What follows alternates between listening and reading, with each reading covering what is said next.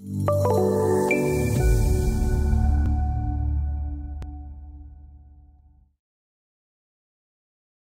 that we understand how the different models and the views are defined, let's take a look at some of the view controls that we have available in each one of the different view windows. Views by default have a view control toolbar located at the top of each view window. The exact tool layout varies by the type of model that the view is displaying. So you'll notice in the 2D view and the 3D view and the profile model we have slightly different view controls. And in the cross section we have totally different view controls. So let's just take a quick look at some of these basic view controls in the 2D model and the 3D model first. So you can see we have a, a tool to update the view. We have a tool to zoom in, tool to zoom out. We have a tool to window an area. We also have a tool to fit the view, as well as rotate the view and pan. If we come over into the 3D model view, we have the similar tools there. So we can update, zoom in, zoom out, zoom window, fit a view, or rotate a view, or pan the view as well. The 2D and 3D view controls can also be found under the View tab on the ribbon. Now, I want to take a closer look at the profile model and the cross-section model because these work a little bit differently. So I'm going to left click into the profile model view. Let's talk about the profile model exaggeration. So by default right now, the profile vertical exaggeration is set to 10 times exaggerated vertically. If we want to change the vertical exaggeration, all we have to simply do is go up into the view attributes here, select the view attributes drop down, go down to the civil panel and expand that using the down arrow. And from here, we can set some preset vertical exaggeration values. So I'm going to go ahead and select 20 and you'll see the profile model view now gets exaggerated 20 times. Now we can also exaggerate the view horizontally as well as vertically, and we can achieve that using the mouse wheel. So let's take a look at how to change the horizontal and vertical exaggeration using the middle mouse button, which is your mouse wheel. So once again, I'm going to click into the profile model view. I'm going to position my cursor somewhere in the middle of the view to set the focal point.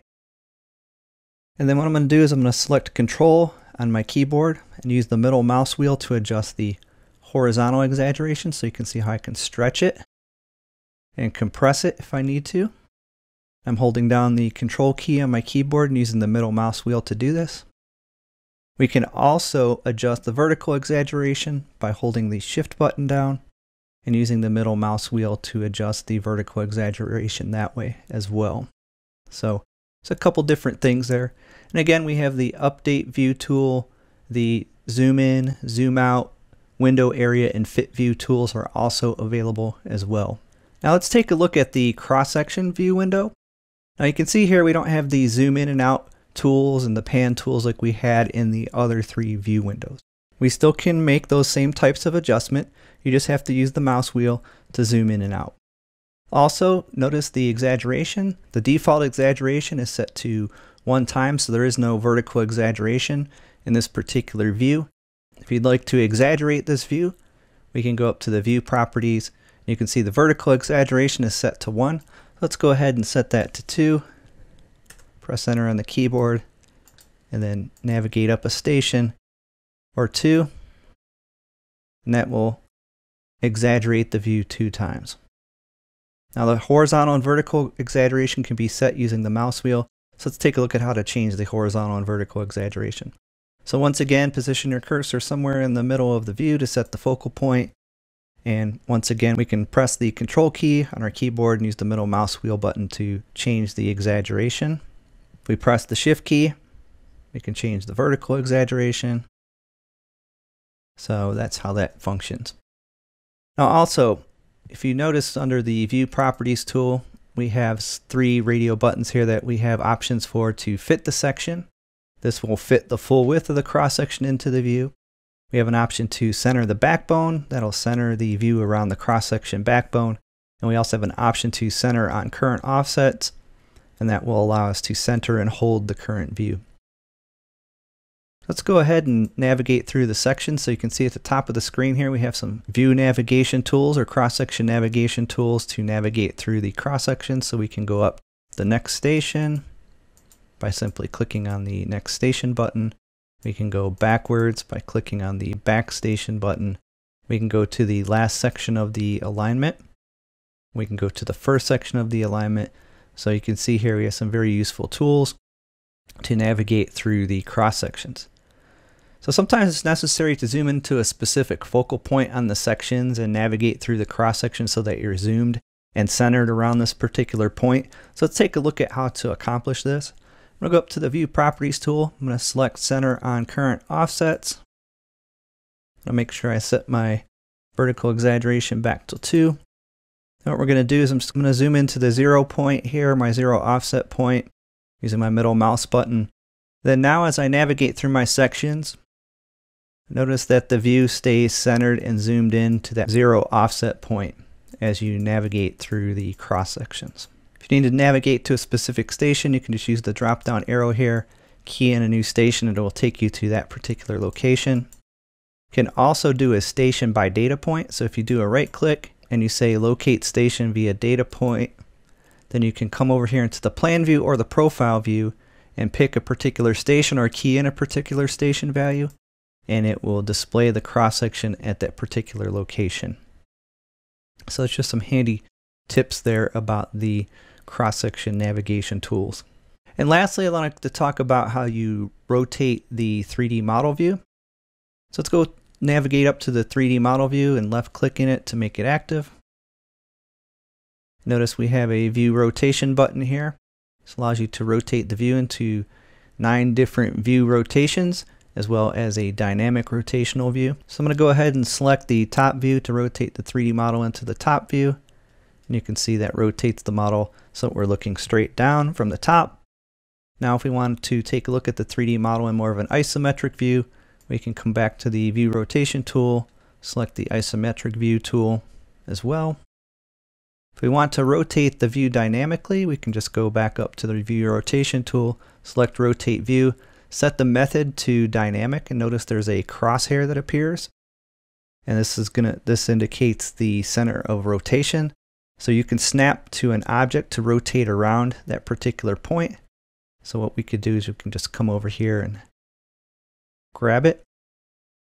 And then as we rotate around, you can just hold down your left mouse button to rotate around and navigate the 3D model view. And when you're done, you can just simply release the left mouse button and right click to complete. So that's how the view rotation tools work in the 3D model view.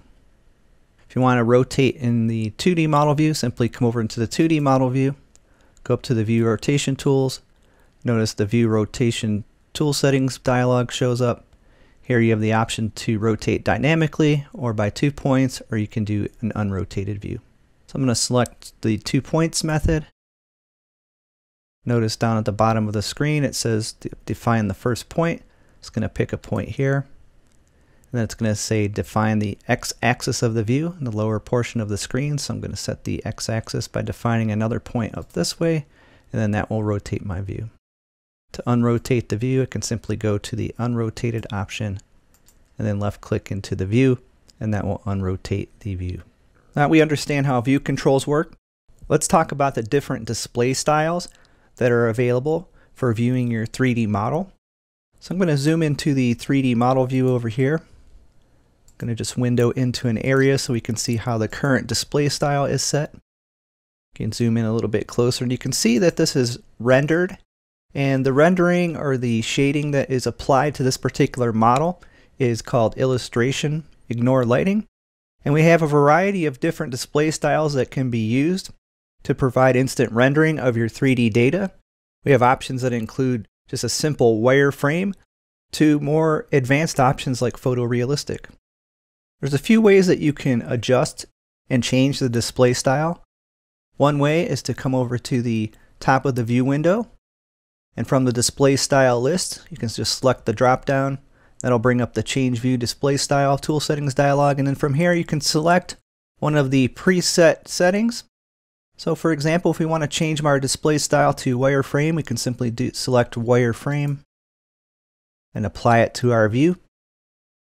we want to select something like transparent, we can go down in the list, select transparent and left click in the view, and that changes the display style.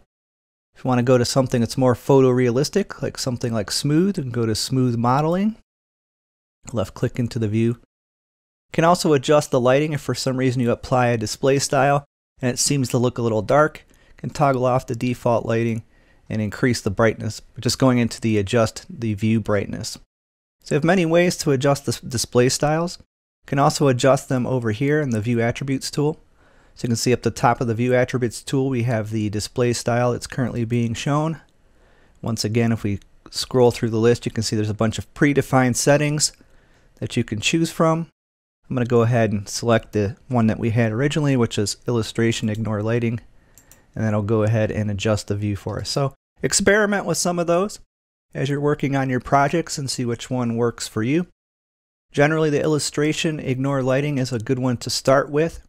If you need a more transparent mode, use the transparent, or if you need to see all the way through the model, then you would select the wireframe. Those are some of the three most popular ones to use. And one last thing that I forgot to mention was that if you go up to the display style button here and you left click and hold you'll get access to the predefined display styles as well. So it's many different options for getting to the display styles to render your 3D model view.